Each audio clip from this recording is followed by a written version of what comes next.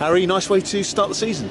Yeah, very good, very pleasing. Nice to get uh, some time in the middle, and nice to obviously get a few runs um, until I run myself out. But yeah, no, it was uh, really nice to get out there. It was pretty uh, tough early on, and, and, actually throughout the whole day. So really pleasing, not for myself.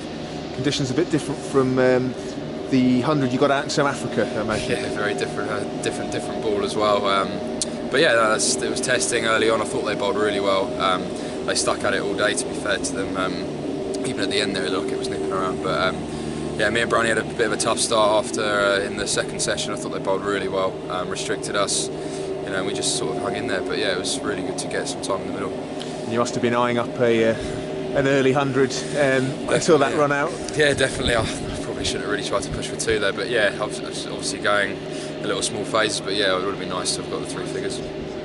And uh, good for, for you all to get out there in the middle with the with the forecast not looking great for the next couple of days. Yeah, obviously any any cricket you can get this time, you, you take it really. Um, but yeah, obviously we'll, we'll play as if it's going three days. If the weather weather stops that, then it stops it. We can't control that.